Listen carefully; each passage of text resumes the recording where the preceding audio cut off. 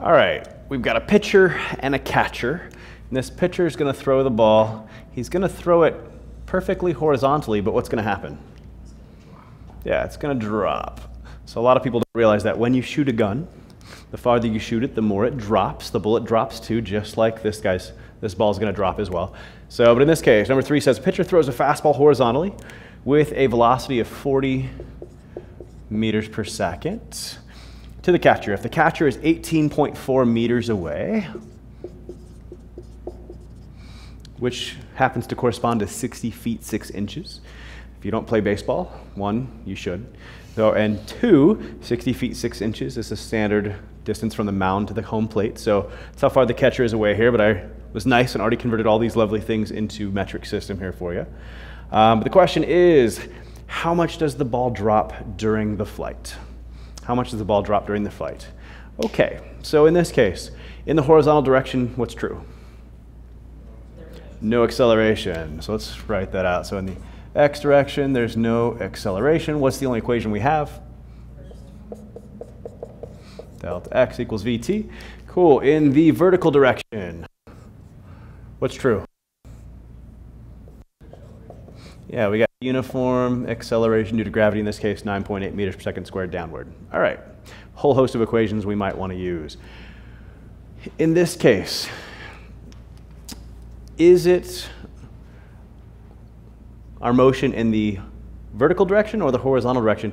Which one is responsible for this journey of the ball coming to an end? Horizontal, horizontal this time. Then that's the one we're going to need to use to find time. So in this case, do we know the horizontal displacement? Do we know the horizontal velocity? Great, we can solve for time. Notice that horizontal velocity of 40 meters per second is never going to change because there's no acceleration in the x direction.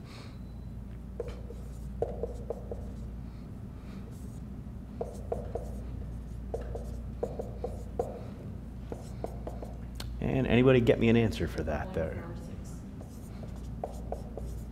Good, 0.46 seconds. So that is the length of our journey here. So if I want to know how far this thing drops here in the vertical direction, I'm going to have to deal with our y motion. In this case, what are we trying to really solve for to find out how far things are dropping? What variable? Not the velocity. Displacement. displacement. We want the displacement. So in this case, what's my favorite equation? Can I use it? Yeah. Well, you find velocity first. I find which velocity first?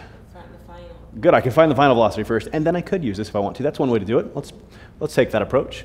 So in this case, we can say that v final equals v initial plus at. So your final velocity equals, well, in your y direction, no initial velocity. Acceleration due to gravity is 9.8 meters per second squared. And then time of 0.46 seconds.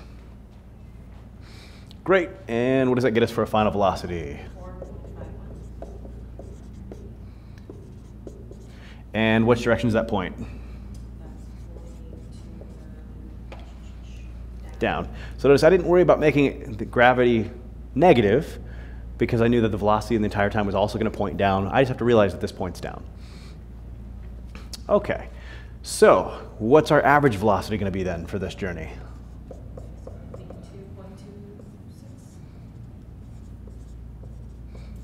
Yeah, 4.51 and 0 average is 2.26-ish times 0.46 seconds. And what is our horizontal displacement?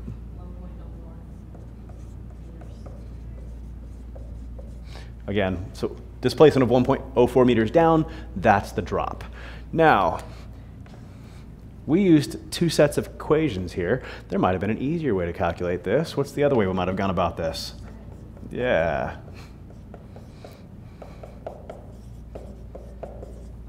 So in this case, why is this equation pretty convenient in this example?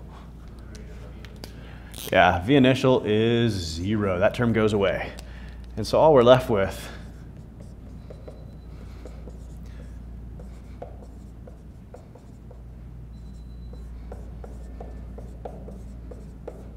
Don't forget to square it. But this actually, in this case, would have been easier. It's not my favorite equation, but it definitely would have been a little bit faster calculation, truth be told. And someone want to confirm for me this comes out to 1.04 meters again? Or at least close? Great, as it should. Great, there's our drop.